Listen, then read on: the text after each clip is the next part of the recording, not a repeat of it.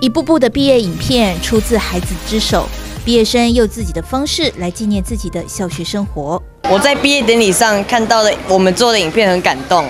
也很开心，我有这样的能力做影片。我觉得这个影片让我收获良多，在我六年来中画下一个完美的句号。课程中主要是透过引导孩子，就是说，哎，留下自己美好的记忆，然后用分组的方式来制作。所以，呃，当毕业的时候，其实每一班都有十五部的毕业影片，然后再由学生们呢票选出代表班上的毕业影片，然后最后再播放在毕业典礼上。其实过程中孩子们都蛮兴奋的，然后想到要毕制作自己的毕业影片，他们其实真的都是用尽心力设计出不同的风格。然后最后每一班所票选出来的毕业影片也都具有各班的一个特色，好，然后相信呃这样的一个过程可以还给孩子一个留下一个美好的回忆，那也期待他们能够展翅高飞，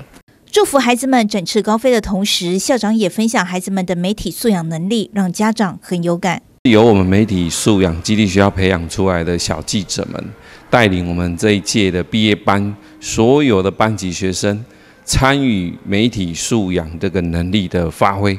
那在每个班呢，都有一制作一到两分钟的一个呃整个六年的学习生涯。那透过这个影片呢，我们要呃让孩子的能力展现出平常。可能是大人或师长或家长是看不到的。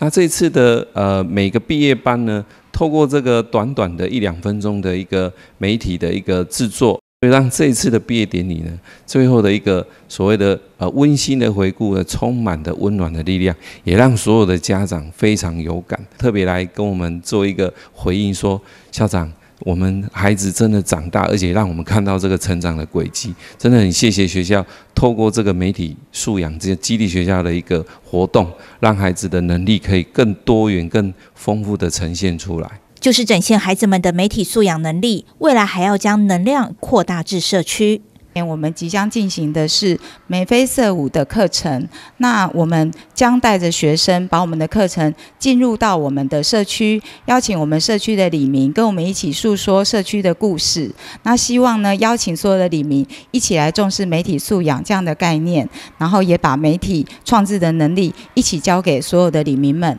透过亲手制作的毕业影片，孩子们在离开小学前学到媒体素养的技能，为未来的学习和发展打下了良好的基础。记者蔡小军，基隆报道。